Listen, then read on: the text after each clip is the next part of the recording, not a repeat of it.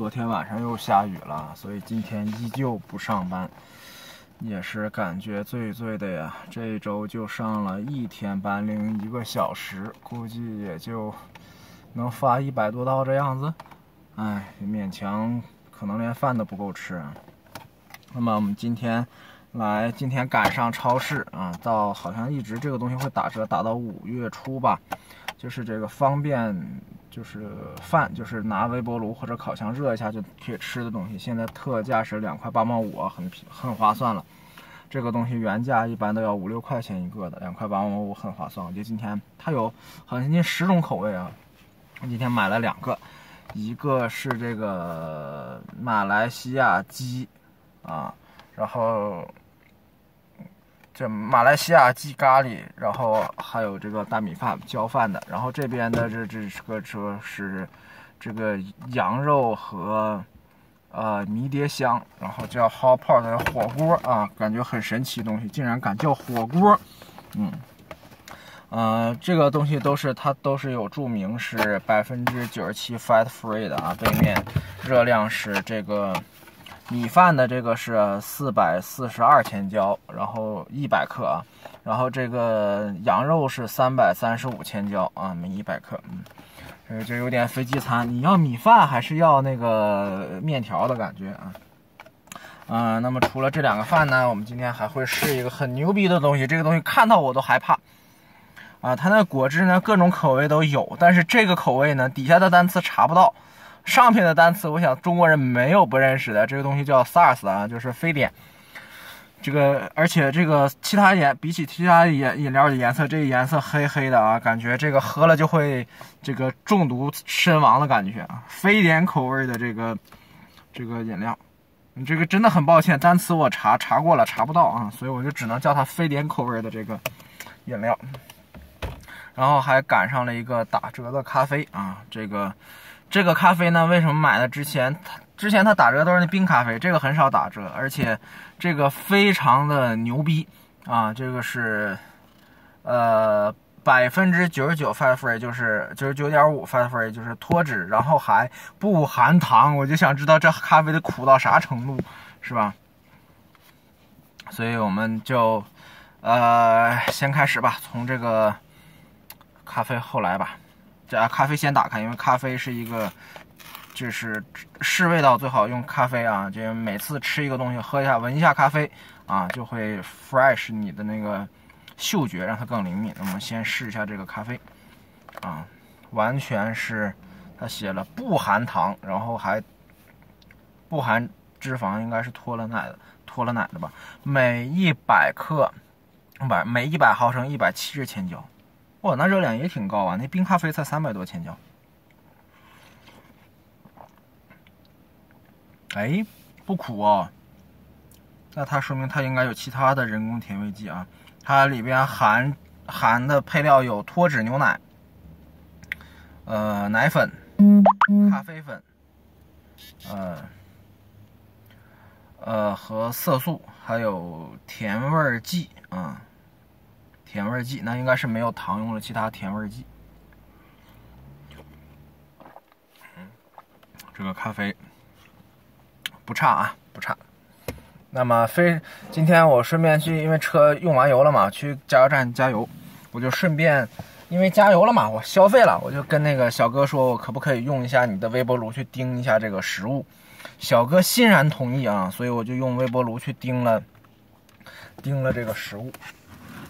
刚才说的方便食品，那么我们先拿一个餐具出来啊。我觉得我这次终于可以用勺了啊，不用筷子用勺，因为它有一个东西感觉很稀。嗯，首先我们来先来看看这个。哦，我昨天说漏了是吧？我忘说昨天那个视频的内容了。昨天视频主要是三个。呃，部分一个部分呢，就是那个试吃了一个，呃，就是一个部分是感谢感谢我，就最开始的部分是感谢头一天请我吃饭的一个，呃，一个水果的买家嘛，啊，然后拿拿手机放了三张照片，就是那个菜色，因为是呃，人家付钱的，所以我也不好意思现场拍个视频这样，所以就只照了三张照片。但是非常感谢啊，希望他们在国内的生意啊，希望呃国内的事业兴旺发达，生意兴隆啊，水果大卖，嗯，然后呃，因为那个小伙伴是广州的，所以广州的小伙伴你们可以吃到澳洲的葡萄，嗯。那么第二个部分，昨天是试了一个很贵很贵的那个泡面，那个泡面是所有亚超都有卖的，但是它价格非常贵，高达四块钱。啊，但是你们也可以看到中间有那个，真的是它那个沙茶牛肉面，中间真的是有一包牛肉的，而且那个牛肉的味道非常好，当然嚼了半天都舍不得咽下去。然后第三个部分就是吃了一个。呃，仙草仙草冻，然后很奇葩的那个仙草冻是荔枝味的，然后最后就有很多扒的那个底儿，然后我又录了个二 P 来吐槽，因为二 P 我把那盖儿的拿那个工具给搞开了，就是为了抠出那个仙草冻，就是它不如国内那种利乐包装纸盒撕着方便啊。昨天那个视频大概就这三个内容，非常抱歉，非常非常抱歉，录录完了之后没有声音啊。那么今天先试这个，叫这个。马来西亚咖喱鸡、鸡咖喱和米饭，那么就是长这样子。我们打开看一下，姜姜姜姜姜姜姜姜姜，哎，作为一个舔盖的 UP 主啊，这个盖也不能放弃。盖没有任何味道。然后里边是这样子的啊，米饭和土豆。鸡在哪儿啊？鸡在哪儿啊？没有看到鸡呀？怎么只有米饭和土豆，没有鸡呢？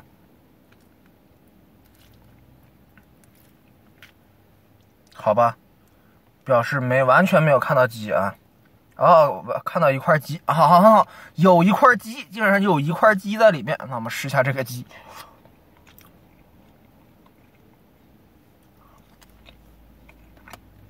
完全就是白煮鸡胸肉的味道啊，然后但是它这个外边咖喱裹着一点点味儿，那么试一下这个味道，咖喱饭啊，哦，它这个咖喱是很呛很呛的那种咖喱，嗯，然后饭呢也应该是典型的东南亚的这种长粒米啊。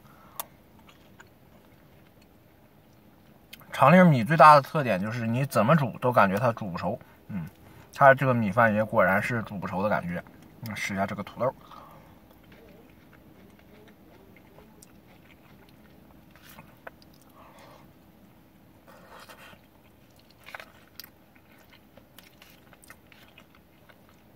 土豆也不够，也不够面啊，还有那种脆脆的土豆。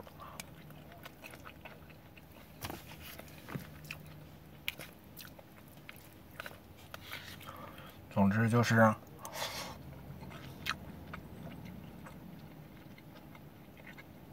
除了这个咖喱吃到一点异域风情之外，其他的食材呢是不够不够吸引人的。不过这方便饭啊也不能说太多。国内的很多自热的方便饭也没比这强哪儿去，不过这个东西需要微波炉才能吃。嗯，没有微波炉就像上次我用那个电饭煲那个那搞那一次，搞很长很长时间才能吃，搞将近三十分钟才能吃，很不方便。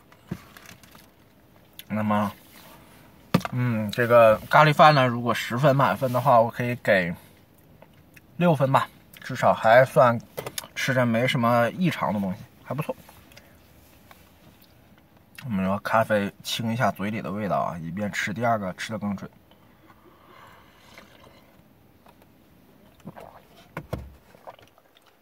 哎，对于一个不喝咖啡的人来说，喝咖啡是一个很煎熬的事儿。然后第二个呢，就是这个了，这个叫。羊肉和迷迭香火锅，嗯，注意这个词是火锅啊，也很牛逼。这个我盯的时候就对它十分有好感，因为它比这个咖喱鸡漂亮的多。嗯，因为咖喱鸡感觉很多都是米饭，这个火锅呢感觉料非常非常给力啊！你看，里边是长这样的啊，上面这个应该是，嗯，上面是马铃薯泥啊，下面是就是这个火锅的部分了。也，然而也没什么东西。上面我先把马铃薯泥翻，啊，把它翻过来，你们就看得很清楚了啊。下面就是胡萝卜、青豆和牛肉，牛肉依然只有一块呢，怎么？哎，好吧，这个这家饭的特点啊，就是肉类只有一块啊，吃过就没有了。那么试一下这个羊肉，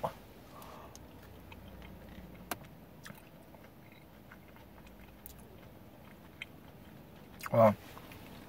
它这个羊肉没有脱膻啊，膻气很重。不过我发现它这个土豆泥啊，马铃薯泥非常的好吃。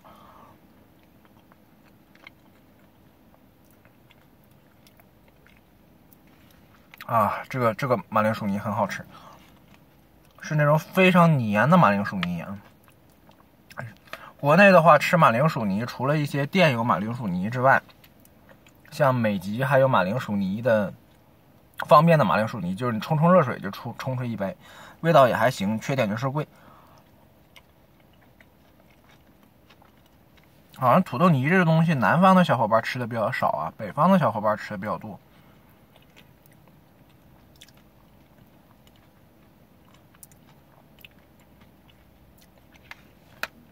哎，说起土豆泥，我觉得最好，印象里最好吃、最实惠的土豆泥是，可能十五年前吧，还是十年前。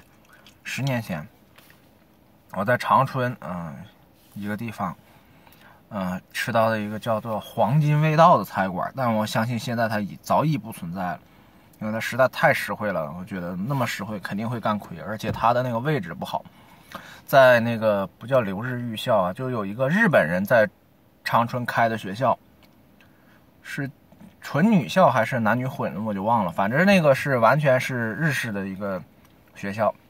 就包括进门鞋柜啊，就包括上课哈，授课好像都是日文的。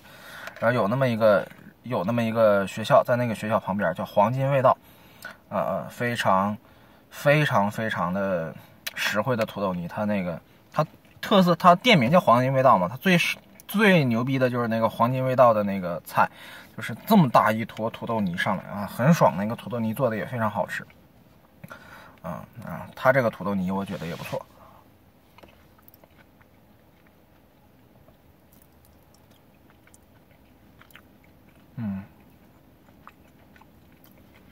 相比来说，它这个土豆泥啊，我都觉得它这个羊肉没什么了。羊肉不如土豆泥给力啊！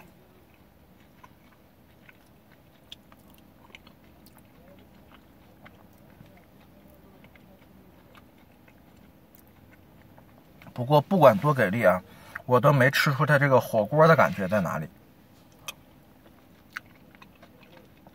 真是三块钱不到的一份饭啊！这个我觉得完全没有问题，很好吃。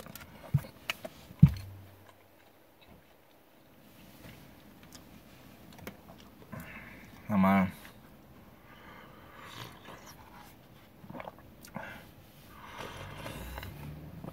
真正的猛士啊，敢于面对非典的，敢真正的猛士啊，敢于面对那个。那真正的猛士敢敢于面对什么淋漓的鲜血是吧？那么我就马上就要献出我的医血了，来试一下这个这个非典口味的这个饮料啊！这打开我会不会就昏迷倒地不起啊？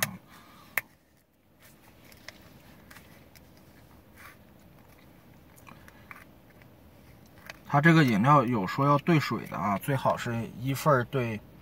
四份的水，这样，但是我们就喝个浓缩的，死就死的快一点。对，还没有介绍啊，这个东西每一百毫升一百二十钱角。啊，这个是两升装的啊，三块钱，价格倒是不贵啊，就是不知道是什么，感觉很神奇，非典味的，好可怕。那么要来了，已经打开了啊。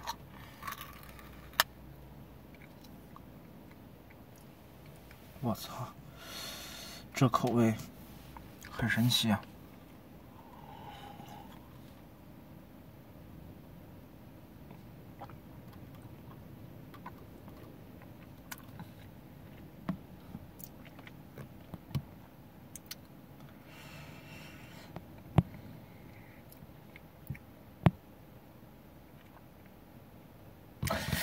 这个好像很像那个浓缩的沙士。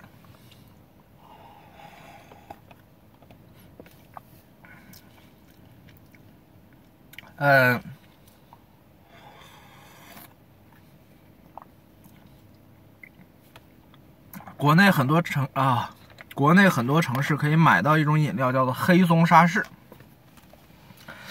这个就黑松沙士，就感觉就是这个东西兑了水的感觉啊。当然，黑松沙士里有气儿啊，这个是没气儿的。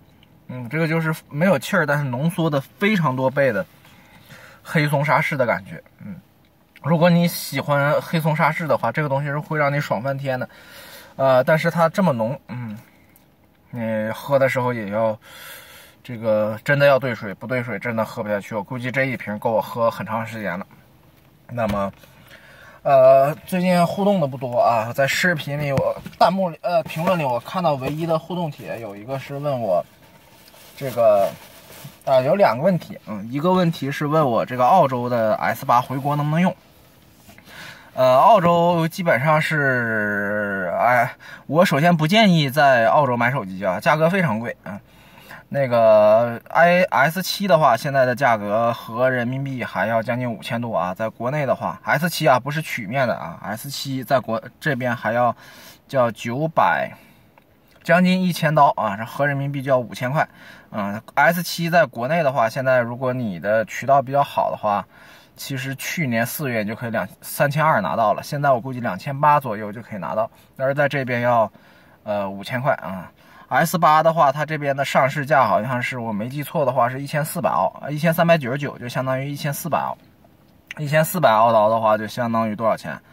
就相当于七千块人民币啊！我相信这个价格还不是曲屏的那个哦，直屏的一千四啊。呃，这个国内的曲屏，我相信只要四千多块钱啊，在这边要七千多，你自己衡量一下。如果你觉得没有问题的话，你可以在这边买啊。澳洲的版本是不是双卡双待的啊？因为那个原本那个呃，因为澳洲是用八八九零的那个处理器的，呃，八八九五的，它用三星自家处理器。啊，自家处理器的那个副卡呀，只支持两 G 啊，不像用高通芯片的副卡支持三 G。而澳洲的话，已经在逐渐的关停这个二 G 网络了，所以说，呃，它双卡的话，实际是在澳洲的话，如果是副卡只支持两 G 的话，可能副卡就没有用。所以说，澳洲的版本是单卡的。当然，澳洲也有双卡手机啊，不是说澳洲不拒不像日本是完全拒绝双卡的。你持一个双卡手机去日本。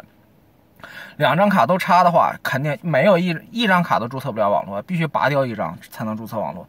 但是澳洲是没有这个问题的啊，澳洲是可以允许你使用双卡手机的。但是，呃，它二 G 网关停之后，双卡的副卡的话，如果只是二 G 的话，你是没信号的。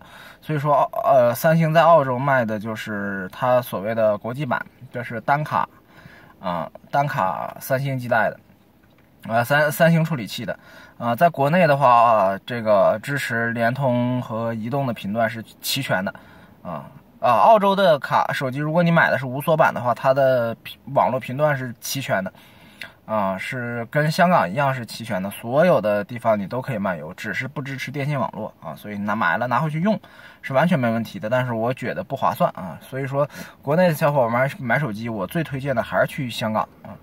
你可以去一个网站叫 price 点 com 点 Hong Kong，嗯，然后里边找到你所要手机型号最便宜的那家店啊，去那家店买就行了，啊，一样的都是保真的，只要它上面包标了是行货啊，基本上就是一定是真的，而且价格非常便宜，比你在机场免税店买还便宜，因为香港没有税，机场免税店跟市区一样都是不打税的啊。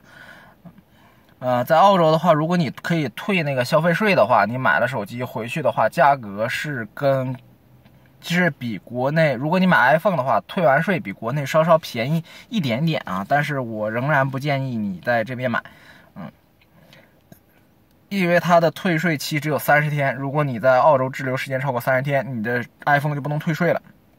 而且它的 iPhone 是你买的时候就要先把税给了，出了机，出了国之后一段时间，它检查没有问题了才会退给你。所以说退税有风险，啊，建议你不要在澳洲买手机。这也为什么我手机摔了之后一直在澳洲也不买的原因，就是非常的不划算。但是你的问题是能不能拿回国用？没有问题，在无论你用那个联通还是移动都是可以，呃，完全支持的很好的，四 G 的频段都支持的很好，完全可以用。嗯。然后还有第二个问题就是，呃，有小伙伴问在澳洲这边，那个这个还是问找工作的问题啊，说问那个白卡能不能帮助你找工作？白卡不能帮助你找工作，因为如果你是做白工的话，啊，他雇主要求白卡的话，你没有你是不能工作的，嗯，但是你有白卡这个东西就相当于一个准入资格一样，你可以做了啊，但它不能帮助你找工作。嗯，你就像那个，这个东西相相当于你在国内，你说我小学毕业了，嗯，所有人都就是所有的但凡出去找工作的人都小学毕业了，所以说你小学毕业没有任何优势的，所以说它不是一个优势性的东西，它只是一个准入，你有了这个东西才可以做而已，嗯，然后白卡难不难考的问题，白卡的话有几种方法，第一种方法是淘宝找黄牛。啊，澳洲白卡一搜就有一大堆这个代考替考的人。啊，嗯，你付个钱，他帮你考下来，这个是，嗯，最最简单、最省事儿的办法。第二种方法是上网自己考，呃，笔试的部分不就是机试的部分不太难，难的是最后电话面试那一下，啊，他会，呃，电话里面试你们问你十十个问题，但是，呃，面试的话你是只能选择英语的，所以说你如果听不懂的话。呃，就很糟糕。我是打过两次电话了，都没面试通过，所以我现在在想办，在考虑申请把那个白卡那个费用退回来，因为我没取得白卡嘛。呃，电话里他会问你的都是判断题，只是就是问你对还是不对。但是十道题里边，他，哎，你也知道，他那些都是考白卡上很多都是专业词汇，你听不懂的时候就。抓瞎，而且好像是错一个还是错两个就不行了。所以说，呃，怎么说呢？